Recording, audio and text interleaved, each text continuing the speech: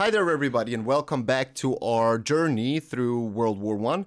As you can see today I'm not covering an Epic History TV video, but a video from one of the best channels, or maybe the best channel, I would say, that covers the topic of World War One, and it's the channel called The Great War. Please check it out if you don't know them. Uh, they cover every aspect of World War One. They have also special series on different topics like this one. And I talked about sharpshooters in the last video that I covered, and I thought it, it would be interesting to take on this topic because I think that sharpshooters and snipers don't get the recognition in the First World War like in the Second World War. And I think in general, the Second World War kind of overshadows the First World War. But they, uh, the snipers and sharp sharpshooters, I think get also overshadowed by the different new technologies that were implemented in the war, like uh, biological warfare, tanks, airplanes, mass bombardment by artillery, and different stuff. So uh, I wanted to present you this video and talk about things uh, in this video. So without further ado, if you're new to the channel, please hit the subscribe button, the notification bell, and tomorrow we're of course going to continue with the Epic History TV series on World War One. Okay, let's see. It's quiet. The battle has died down for a moment, and the men are relaxing in the trenches as much as they are able to. The captain walks over to you with a smile on his face and begins to tell you a funny story when he suddenly pauses. His face goes Boom. blank, and he crumples dead to the ground, shot in the head by an enemy sniper.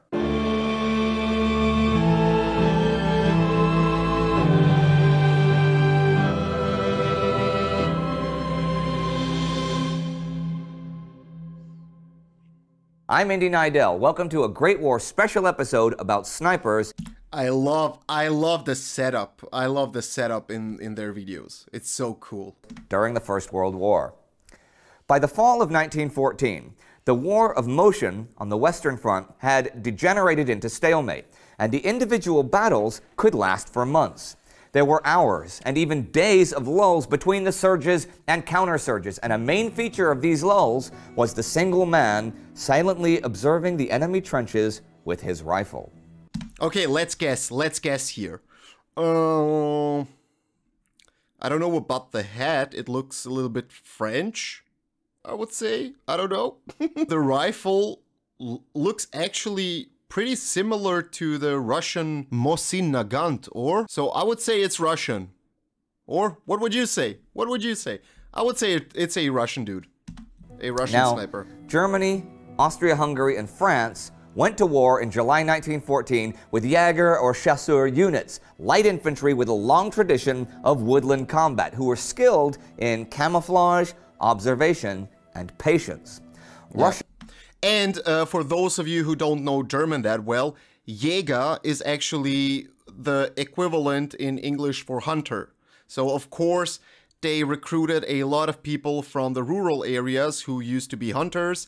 But one interesting thing about the recruitment in Austria Hungary and the Croatian parts, I went through the archives and I found out that actually they you know, like had a standing army, but as the number of men dwindled, the first ones they started to rec- recruit were actually policemen because they were equipped with weapons and they know, knew how to handle it, handle them.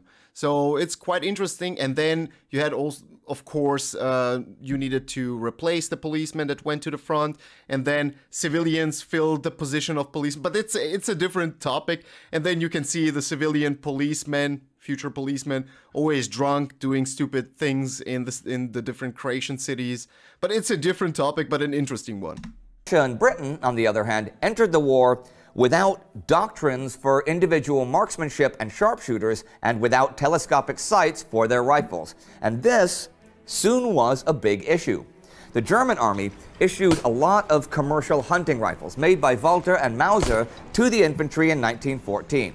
They were not of a high military standard and had an effective accuracy of only 300 meters, 900 feet. But they worked well enough for the moment, especially where the trenches were very close to each other. By the end of the year, though, they had supplied over 15,000 Gewehr 98 rifles with telescopic sights and a range of a kilometer. Okay, so maybe the guy was German in the last picture. 3,000 Th- this looks li- li- like the rifle Thousand feet. Well, a little bit more, but you can do the that math the guy yourself. had. These were issued to the best marksman of a battalion, who was often someone who had been a forest guard, hunter, or policeman in civilian life. These men most often sniped alone, although they were allowed to work in pairs. They had no fixed location and could even go into no man's land. Their sights and binoculars, made by world masters like Zeiss, Goerz, or Hensoldt, gave them a significant advantage over the British in trench warfare, who had pretty much none of these weapons at this time. On one day, in one trench segment early in 1915, the British lost 18 men to German sniper fire, and a single sniper could easily score 40 or more kills before he was dealt with. And being dealt with at that time usually meant shelling the area with field guns since there was no real counter sniping ability Yeah, and just hope for the wasn't best. just on the Western Front either. At Gallipoli, Turkish snipers, though not often equipped with telescopic sights, were masters of camouflage and shot from behind bushes, tall grass, or rock formations, making life hell and inflicting heavy casualties on the Anzacs on the beaches and lower slopes below. Uh, I know about the guy. Uh, he was called Abdul the Terrible. He was fighting on the Ottoman side, and but he was actually taken down by, um, I think, a Canadian or an Anzac, uh, uh, a sniper, Sam something. The Anzacs, for their part, had an immensely Eh. gifted sniper there in the person He, he, uh, Billy, Sam, Sing. Okay, Billy Sing. Yeah, he he took out um, Abdul the Terrible. of Billy Sing, a Chinese Australian marksman nicknamed the Assassin. His official kill tally there was 150, but there are estimates as high as 300 men killed. One of the first British officers who determined to Then the nickname Assassin isn't just a nickname, then it's a fact. To improve British sharpshooting was Major Hesketh Prichard of British intelligence. He was a big game hunter and not only brought his own telescopic hunting rifles to the front lines, but bought many others to outfit the troops. But you know, just giving a soldier a rifle with a telescope and saying, use this, was a death sentence. Amateurs were very quickly killed Uh, just to talk about the military uh, evolution in the First World War and everything that happened prior to the First World War and the military in general. As you can see, everything that the military adopted and used in the First World War was prior to that used in, let's call it, civilian normal life. Biological weapons, because of medicine and development of medicine. Of course, the military and the different states tried to develop something not only to help people, but also to kill people. Uh, and uh, also barbed wire. Bar- barbed wire was actually used to uh, keep cattle safe and in one place, but then was used pretty extensively in the First World War to uh, barricade in front of the trenches so that the enemy troops cannot attack that easily. So, a lot of the things that were commonly used in normal civilian life were start or they always go into the military by the enemy. They had no training in camouflage and soon gave their positions away, or just put their rifles over the top of the parapets, exposing themselves to German snipers. Those German snipers, by 1915, had a complex system of cover. They made their parapets deliberately uneven using sandbags and debris. Cool. They built metal shields with holes in them for firing through. They, they covered each other's flanks. They built concrete sniping posts. Hesketh Prichard would have to educate the British if they were to have any chance of competing. With the help of Colonel Langford Lloyd, he established the first Army sniping school and began taking recommended volunteers. There he taught the essentials of sniping. 1. Before even thinking about shooting, you must know your rifle far better than basic training taught. You couldn't just screw on a telescope and think you'd hit anything either. Sights were very sensitive and must be adjusted and corrected regularly. The focusing sleeve and object glass must be kept clean, and after six or 700 shots, the wear on the rifle ruined accuracy. Also, German snipers kept their rifles. The British had to give theirs to an NCO after their shift. That had to go. Two. Why? So British that the soldiers can more easily connect with the weapon. British snipers would work Or- in teams of two, one with a rifle and one with binoculars. In the trenches, Speed was the key since a target only showed himself briefly. One bit of training was to have the man look through binoculars for 15 seconds and then write down everything he could remember.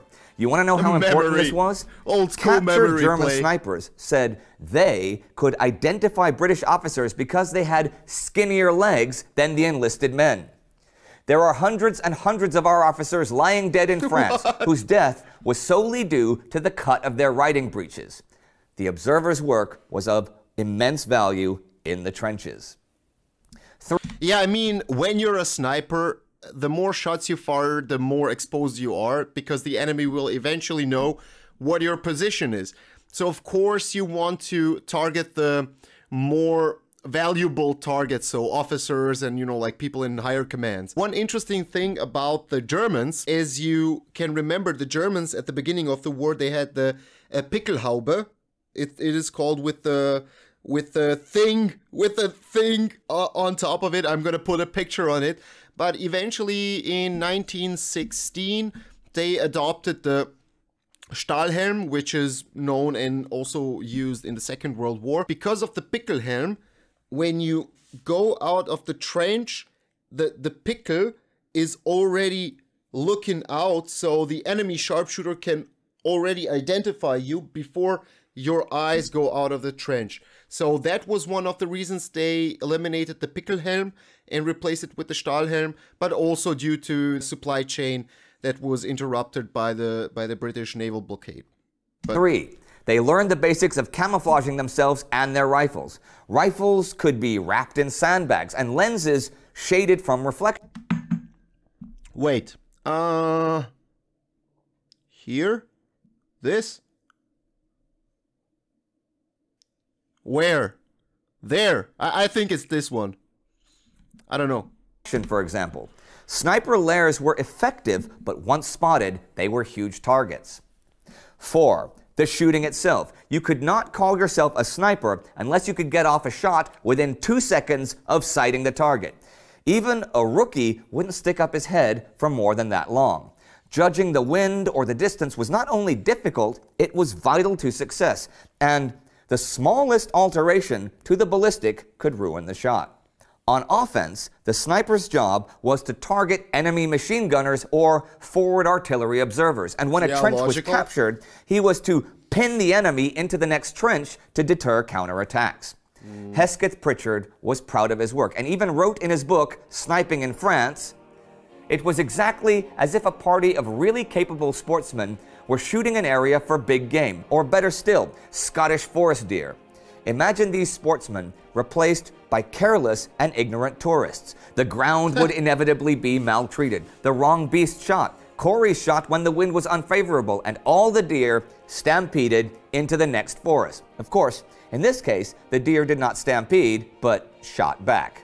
By mid 1916, the British sniper was as skilled and experienced as his German counterpart, and German snipers consequently became more careful and shied away from what had earlier been without risk. Both sides now used lures and decoy dummy Ah, that's cool. That's cool. Ha, is he smoking a cigarette here? Is the doll smoking smoking a cigarette? heads to pinpoint enemy sniper positions and then take him out. The British even used elephant guns to shoot through the German metal sniper shields. It was a very dangerous game. If you're wondering, the sniper with the most kills in the war on all sides was the First Nation Wait, soldier wait, wait. Let's say uh, it was a French guy. I don't know. I'm just guessing. Or a German guy. Francis Pegahmagabow, who fought for Canada. He had 300. Far away, different continent. confirmed kills and captured over 300 more men during the war. Wow. I'm sure you noticed that most of the talk Props today to was about British sniping development, right?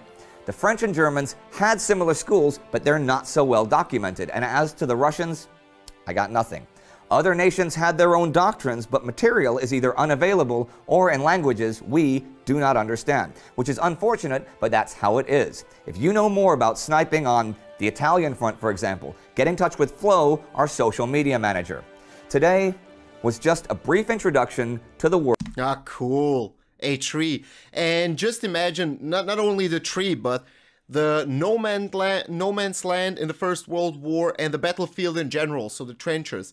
They were devastated by artillery. There, there's always uh, trees and barbed wire and mud and everything. So it was perfect for camouflage and perfect for snipers. I'm not surprised that, that snipers and sharpshooters were used that common. World of the modern sniper, whose talent and patience have been vital to the conduct the not only war. of this war, but pretty much all of them ever since. Thanks to Marcus, our research assistant, for the research on this episode. If you want to know more about the best sniper of World War I, click right here for our bio special about Francis Pegahmagabow. For more great pictures of World War I snipers, follow us on Instagram and do not forget to subscribe. See you next Okay, uh, should we do the best sniper in World War One as the next video and then go to the Epic History TV series? Let me know in the comment section below. Okay, uh, I saw this video, I think, two years ago, and then I remembered, as I said, when I uh, mentioned sharpshooters in the last video, so I thought it would be interesting to revisit this video and also to introduce this topic to you guys. Okay, uh, let me know all of your thoughts, opinions, corrections in the comment section below. I will appreciate it. If you don't know the channel, The Great War, visit them they're they're really a great channel, and they uh, produce, I think, at least one video a week about the Great War. But they started to also cover the Second World War. Okay, if you wanna uh, if you wanna subscribe to this channel, just subscribe and yeah, get notified when new videos come out. okay, until the next time. See ya.